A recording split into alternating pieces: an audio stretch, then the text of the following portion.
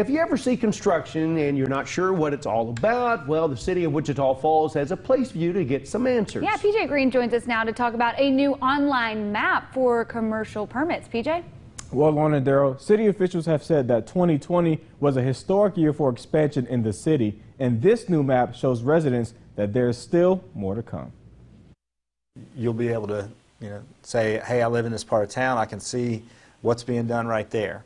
From the east side to the falls, from MSU to Sheppard Air Force Base, city officials say Wichita Falls is expanding. With the city's new commercial permits map, everyone can see that expansion in real time.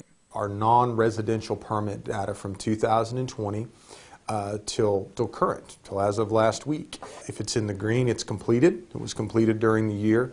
Uh, if it's in the yellow, it's either under in for permit review or it's under construction now. And there is quite a bit of construction currently going on and some that has been done this past year at places like the Alamo School. Alamo School is a is an old school facility that had closed down and they sold it to a private investor who's now going to turn it into apartments.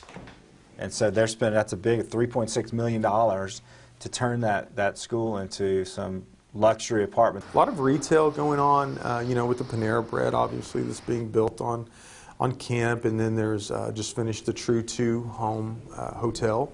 That's on Maplewood, and, and, there's some other hotels uh, under construction there off of McNiel and, and along Kell. Although prices of building materials has increased during the pandemic, these men say construction is booming right now, and it's an exciting time for Wichita Falls. A lot of investment that we may not see in new buildings, but uh, in uh, renovation of buildings, or they're kind of getting that second or third life. It's really been a good last couple of years, even with the pandemic.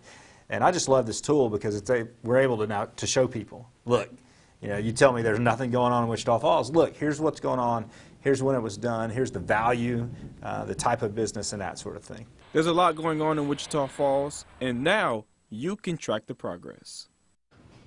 Now you can find a link to this map on in this story on our website. I can picture a lot of people yeah, being very interested I'm in that. definitely going to go check that out. I'm okay. always interested by yes, that. Yes, for sure. PJ, thank you very much.